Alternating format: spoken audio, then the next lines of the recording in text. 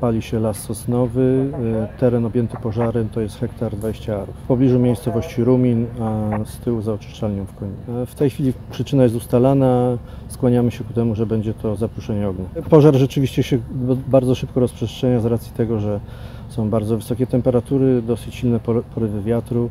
Z tego też względu wzywaliśmy samolot gaśniczy, który dokonał zrzutu wody. W tej chwili dogaszamy, jest bardzo sucho, jeszcze na pewno dwie godziny przynajmniej będziemy działać na tym terenie.